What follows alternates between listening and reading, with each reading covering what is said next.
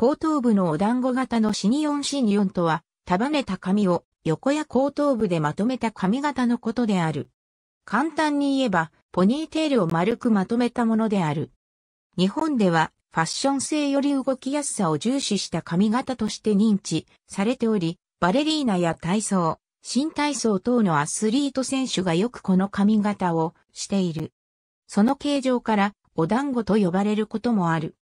また、清潔感やきちんとした印象を与えやすく、抜け毛が不要に落ちることも少ないため、髪に手を触れることがエチケットに反するとされることの多いビジネスシーンで好まれる髪型の一つである。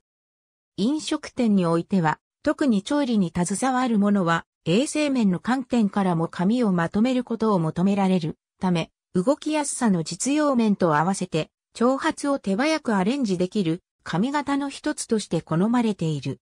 航空会社においては、肩よりも長い髪の客室乗務員や地上勤務の職員は耳の高さを基準にまとめるという社内規定を設けており、シニオンもしくは夜会巻きにしている。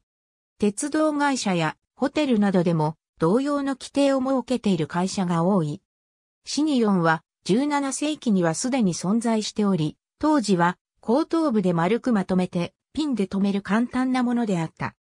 18世紀ではシニオンを大きくしてボリュームを持たせたものが多くなり、この頃のフランスではあまり上の方に作られていない。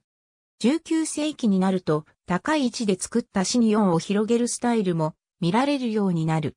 1920年代にはポピュラーな髪型となっていて、いくつかのバリエーションを見せている。しかし20世紀中頃にはスポーツが一般的になるにつれ、髪をショートにする女性が増えたため長い髪が必要なシニオンの数は以前よりも減っていった。1960年代後半から1970年代初頭にはエドワーディアンスタイルの流行によってそれに似合う髪型という形で再びシニオンも脚光を浴びた。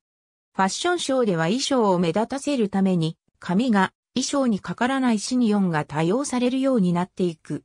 中国では、真の時代の満州族の女性の髪型に、両波頭という髪を二つに分けて、団子状に巻いたシニオンの一種が受け継がれていた。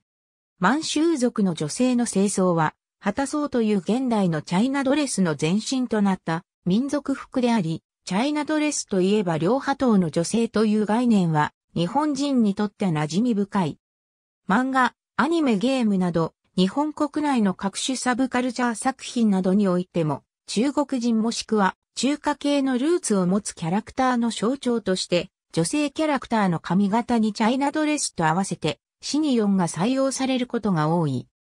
お団子頭のチャイナドレス姿のコスプレイヤーたち髪をシニオンにして、残りの長髪をツインテールのように垂らすキャラクターとして、美少女戦士、セーラームーンの主人公、月のうさぎがいる。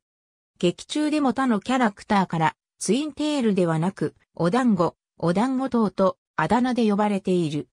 現実的にこの髪型を作ろうとすると相当な長さが必要であり、原作漫画の2巻で一度シニオンを解いて身長より長い髪の姿が描かれている。ありがとうございます。